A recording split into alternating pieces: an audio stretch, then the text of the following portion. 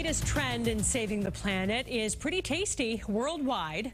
Companies are starting to make our straws, cups, even utensils edible. Naomi Ruchim of CBS shows us some of the more delicious ways to go green.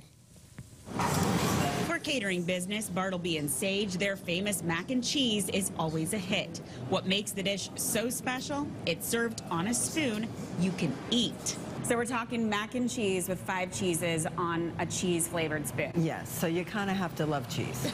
I do. All right. Cheers. Cheers. Boston area company Edibles by Jack makes the spoons, which come in 18 flavors from savory to sweet. People are choosing these products because the client themselves wants something sustainable, want something fun that elevates their menu. And the caterers believe they serve up a double dose of delicious and practical.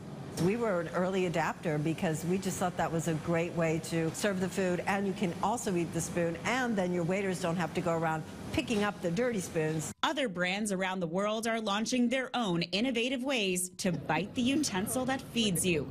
These edible straws from Sorbos are completely biodegradable and last in cold drinks for up to 40 minutes. The water is definitely still water, but the have the little aftertaste of the strawberry, it's like candy. Italian coffee maker Lavazza has made an espresso treat that comes in an edible cookie cup.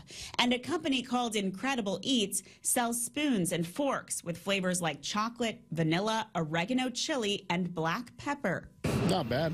Like a cracker. You'll have to fork out extra cash for an edible utensil, priced from 25 cents each to more than a dollar. Compare that to standard plasticware, which costs as little as 4 cents a piece. Is it something you would pay extra for? Mmm, maybe, yeah.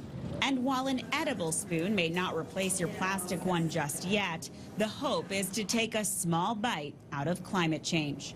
Naomi Ruchim, CBS News. A spoon made of Parmesan cheese? Where do I sign up?